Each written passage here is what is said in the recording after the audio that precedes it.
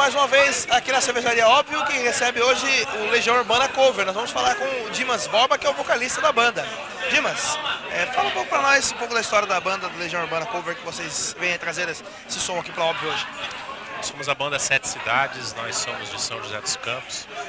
Somos uma banda aí que estamos resgatando o bom do rock nacional, né, dos anos 80, anos 90, que foi a Legião Urbana, que foi uma banda muito representativa para o jovem da época. E, e, e, é uma banda que perdura até hoje como uma das mais importantes do Brasil. E a gente faz essa homenagem, presta esse tributo a essa grande banda e o seu grande representante que era o Renato Russo. Tá certo. E de onde vem o nome Sete Cidades, o nome da banda? Sete Cidades é uma homenagem a uma canção da Legião Urbana que se chama Sete Cidades. A gente pegou e botou o nome da banda né, dessa música, né, que é uma música que a gente gosta bastante. Tá certo. O que despertou, é, no caso vocês, é, de tocarem só Legião Urbana? A paixão, né? O gostar da, da Legião Urbana, né? Todos nós somos fãs de Legião Urbana. Gostamos e queremos divulgar, não deixar essa, essa chama se apagar. Né? Então a gente tenta fazer nossa parte ali muito humildemente. A gente procura fazer uma coisa legal, de fã para fã. É, até hoje a gente percebe que o Legião Urbana não sai da, da cabeça dos jovens, né, dos, dos adultos. É, algumas crianças até já escutam um pouco do conteúdo, né? E, inclusive, até nos últimos. É, nesse ano, 2011, tivemos aí uma, uma empresa, uma operadora de telefone que fez um clipe baseado na música do Ari Mônica. Eles tentaram repaginar a música nos tempos atuais, que ficou bacana, ficou muito legal. Isso prova que o Legião Urbana não, sai da cabeça do, do pessoal. Legião Urbana é uma banda atemporal. É, nós temos a satisfação de, to, de tocarmos em várias cidades e a gente sempre percebe um público assim muito de 8 a 80. Você percebe o cara que viveu a época da Legião Urbana, com seus 35 anos, com seus 30 anos, mas você percebe também uma garotada de 15 anos, 16 anos, e muito legal você ver essa meninada cantando as músicas da Legião Urbana, não as músicas conhecidas, mas as músicas também menos conhecidas, as que a gente chama de lado B. Né? Então pra gente isso é muito legal, entendeu? Você vê um cara lá de 35 anos com o filho dele de 15 cantando as músicas da Legião Urbana. Isso é muito gratificante. Tá certo. Vocês são de que cidade? São José dos Campos. Vocês já. É a primeira vez que vocês tocam aqui na obra ou já vieram uma Já é a terceira vez que nós tocamos. Que vocês acham aqui da casa? É uma casa maravilhosa. Gente é, é, é, eu acho que é uma casa muito rock and roll. É uma casa que é a cara da, da banda. E pra gente é uma alegria sempre muito grande tocar no óbvio. A gente adoramos não só a casa, a gente gosta muito do, do Edilson, é um cara muito bacana, é um cara 100%, é, é, é, trata a gente assim sempre muito bem, os colaboradores da casa, o público da casa sempre recebe muito bem. Pindamonhangaba é uma, uma cidade assim que a gente tem um carinho muito grande, representado aqui na, na, na cervejaria Óbvio. Tá certo. E para as pessoas que ainda não escutam Legião Urbana, que você diria para elas, para elas conhecerem um pouco desse conteúdo que é muito rico em letras, letras de efeito, letras que fez, fizeram história? Olha, é, você quer é, descobrir um pouco da história da sua vida, você vai se identificar muito com as músicas da Legião Urbana, porque o Renato Russo tinha muito essa, esse dom, entendeu? De representar a vida do cotidiano de cada um de nós nas letras da, das músicas dele. Entendeu? Então você tem uma música da Legião Urbana, você, pô, mas isso aí é a história da minha vida.